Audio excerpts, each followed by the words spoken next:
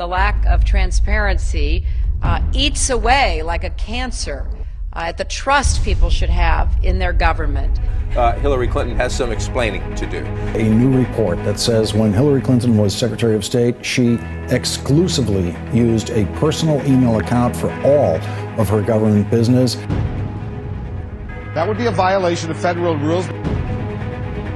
She had a boss who was the President of the United States who promised the American people this would be the most transparent administration in history.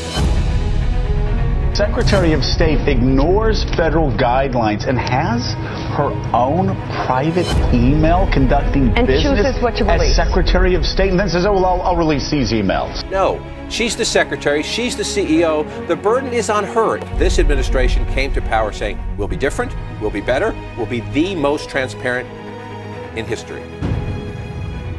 And the server um, will remain uh, private. Um, I did it for convenience. Convenience is not a choice you have in government. She had a regulation, a 2009 regulation that applied only to her. I think I'm probably the most transparent person in public life. And she gets to decide what emails the taxpayers get to see. Those are our emails. They're not Hillary Clinton's. Maybe she shouldn't run for president. There are some Democrats out there who are really freaked out